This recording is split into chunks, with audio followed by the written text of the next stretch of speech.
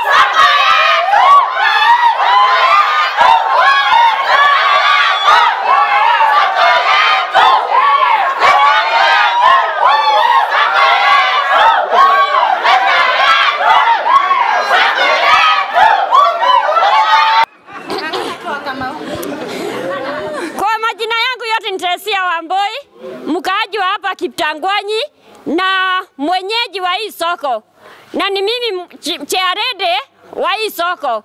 Na sasa kenye kimetufanya kime tukuja hapa tukusanyike asubuhi ya leo ni vile tulikuwa, tulikuwa tume tumetembelewa na watembezi walikuwa wametembea hapa na wakakuja wakatuambia vile tutatengenezewa soko mzuri na tukawa tayari kabisa ati sisi tutabomoa makioski zetu ili tutengenezewe soko. Tuka, tukafanya mkutano siku ya kwanza, tukafanya ya pili, siku ya tatu ndio naye bwana chifu alikuja akaniambia ati vile tulikuwa tumeambiwa tubomoe tusibomoe, na vile tulikuwa na tumaini ati siku ile tutapata tinga tinga imekuja hapa ndio ianze kazi yetu ya soko, tulikuwa tumesema tutabomoa, lakini kwa bahati mbaya ama mzuri, kuna wengine mara hiyo hiyo walikuwa wame, wamebomoa. Mkiangalia mtaona kuna mahali pamebomolewa. Juu huyo mtu alisema baada ya kuja akimbie siku ya mwisho, wacha ajipange kitambo. Wengine walikuwa wame, wametoka manyumba yenye wanafanyia kazi, wanaenda kukomboa mahali pengine, wamelipa manyumba yenye wanafanyia kazi muda kidogo, alafu baadaye chifu akakuja ikiwa siku ya Ijumaa akaniambia tena tusibomoe. Anaona hiyo maneno yote ya kujengewa soko ilikuwa mambo ya siasa tupu. Sasa usuni yetu ni tunauliza ya kwamba vile tulikuwa na furaha kubwa ya kutengenezewa soko, sasa tena tumerudishwa nyuma. Swali yangu nauliza, tutarudishiwa soko ama hatutarudishiwa? Haki yetu, haki yetu, haki yetu. Ah, ngoja. Kwa- Kwa hii soko yetu huwa na watu wa biashara wanatoka mbalimbali sana siku ya Jumamosi, na wakikuja hapa huwa wanatuletea pesa mingi. Hakuna mtu ana mfanyikazi wa hapa haongezagi pesa yake siku hiyo, juu wakikuja wakitoka Nakuru, wakitoka Narok, wakitoka Mai Mahiu huku wanaleta soko kubwa sana hapa. Ki, lazima wakikuja waninunulie ndizi. Mi kwanza ni muuzaji wa ndizi na, na, na nyanya na mboga. Wengine wanakuja sana sana juu ni wa town, ikifika jioni wanatubebea mboga, wanatubebea nyanya, wanatubebea viasi sana sana. Sasa ikiwa hatutajengewa soko mzuri, tutafanya aje na tutaenda wapi? Na sisi tuko Kenya gani?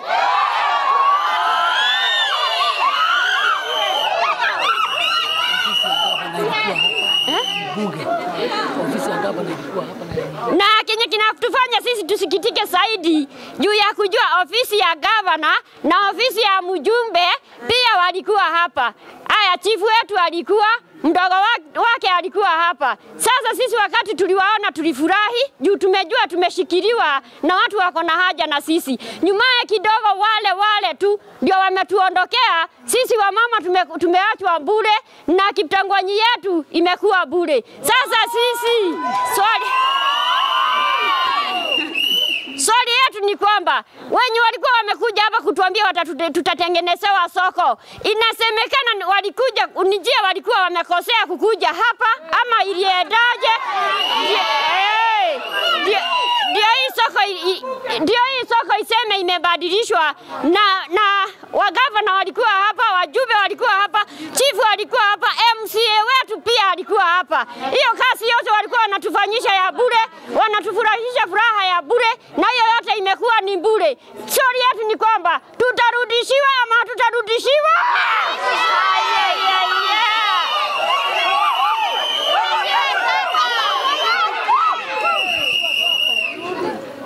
Hii vitu yote nimeshika juu ya hasira yenye niko nayo kuuliza nitakuwa nikiuzia wapi?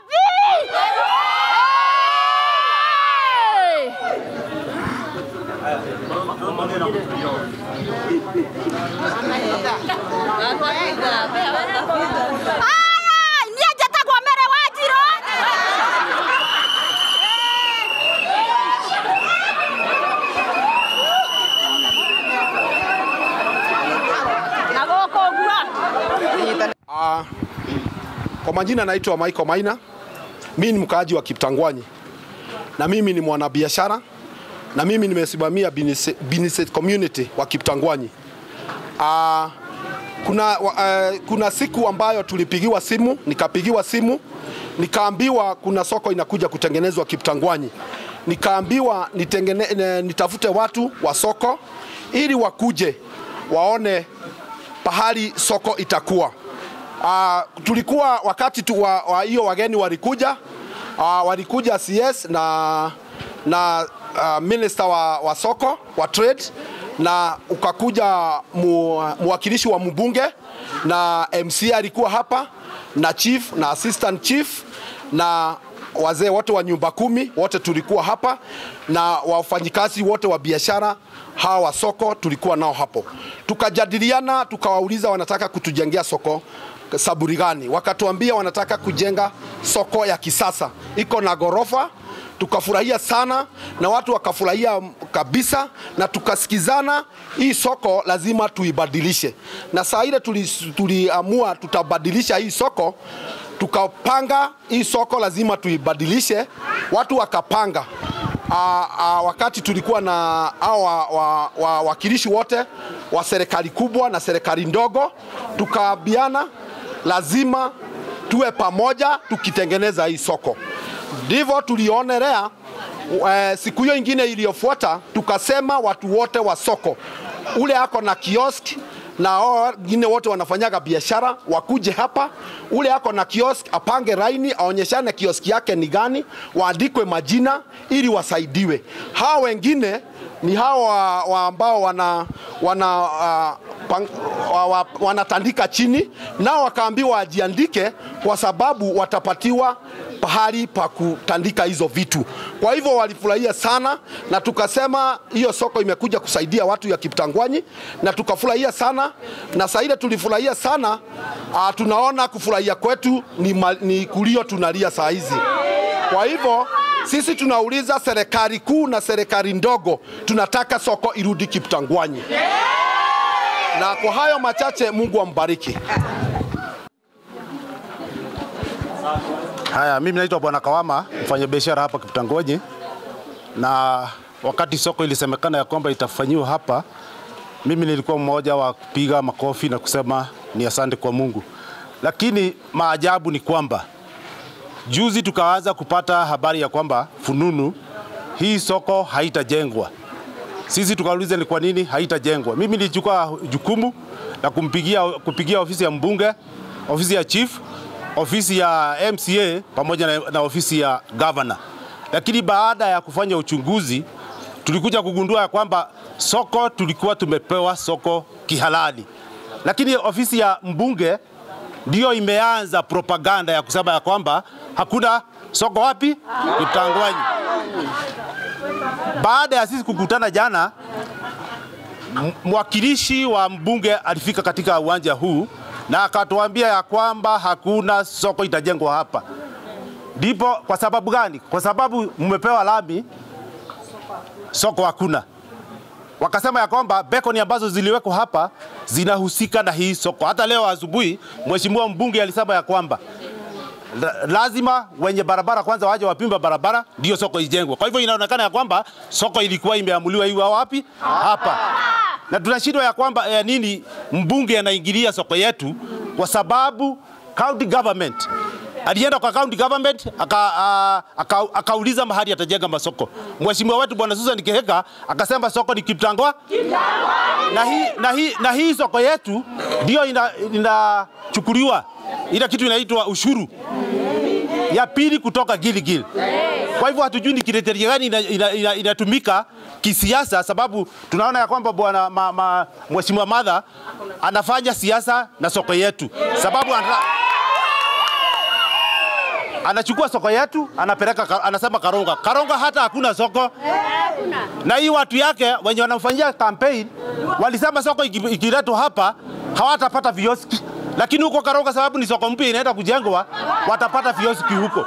Ndio hii propaganda inaletwa ya kwamba soko hapana jengwa katika Kiptangwanyi. Tunamuuliza bwana mheshimiwa mbunge aje hapa atueleze kwa nini anasema hatajenga soko hapa. Ameagizwa na madam Susan Kiheka Susan Kiheka amemwagiza ajenge Kiptangwanyi na yeye anasema hatajenga. Kwa, kwani ana hasira gani na watu wa Kiptangwanyi? Kwa, kwa hivyo akuje hapa yeye mwenyewe awache kuongea kwa, kwa hiyo hiyo ma TV aje hapa atuelezee.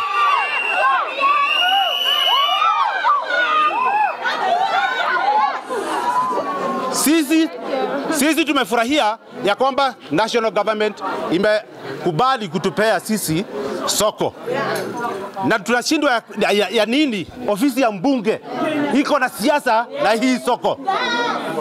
National government haina soko, national government haina kiwanja, kiwanja kiko na county government. Kwa nini anakataa kufuata masharti ya mheshimiwa wetu Madam Susan Kiheka? Kwa hivyo tunaomba tunaomba Madam Susan Kiheka pamoja na serikali kuu, mheshimiwa wetu Rais Ruto waingilie kati na soko lazima ijengwe hapa. Asanteni. Baba wetu wa taifa tuliyekuchagua kwa kura nyingi, tumefurahi kwa sababu tuko Kiptangwanyi, na wewe ukasikia kilio, ukakubali kumazi barabara, ukasikia kilio, ukakubali kumasi shule ya watoto. Bwana akubariki na akutende mema. President wetu mpendwa, tuna huzuni na tunalia Mungu alitujalia ukatafuta pesa ya kujenga masoko na ikasemekana Kitangwanyi ijengwe soko, na hakika tulikuwa tumefurahi kwa sababu watoto walikuwa wameona mahali watanunua mboga. Ore wetu mheshimiwa wetu Martha Wangari aliona wivu mwingi kwa sababu ya barabara. Na akatamka haiwezi kupeanwa soko Kitangwanyi. Ikiwa rais amepeana barabara ya rami. Baba wa taifa Mheshimiwa Ruto, sijui mahali umegawa mali yako au umetenda kazi, kuna mwingine wa kusimamisha. Sisi watu wa Kitangwanyi twakuomba. Uingilie maneno ya katikati ya Susani na Maritha, kwa sababu kuna siasa ya kitoto, ili tuone Kitangwanyi, soko ya Kitangwanyi imerudi na ukizoea hayo yote, Mungu akubariki na kutende mema. Jina yangu naitwa Moses Ndongo Kamau ama Musa. Mimi ni mwanabiashara katika town hii ya Kiptangwanyi ambao soko iko. Soko hii ya kiptangwani iko Giligili sub county ama Giligili constituency ambako hii soko tumepakana na Narok, huwa inasavu watu wa Narok, inasavu watu wa Njoro na pia katika Giligili constituency tuko na division tatu.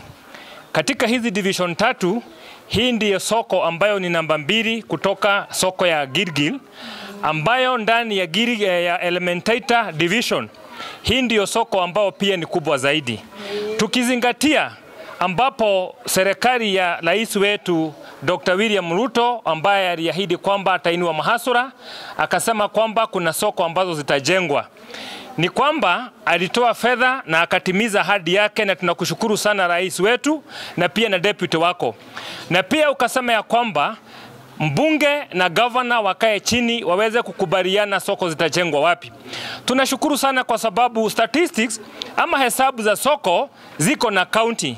Gavana alikuwa ameona ya kwamba ni vyema soko hii ya Kiptangwanyi iweze kuinuka, na ukiangalia mjengo alikuwa ameanza kujenga hii soko kwa sababu anajua wingi ambao uko katika area hii, lakini ikawa kwamba hata alipokuwa ameng'ang'ana kujenga hii soko, ikawa kwamba magari huwa zinajaa. Hata juzi kuna gari kuja ikakata break karibu igonge watu ambao wameweka chakula hapa kwa barabara.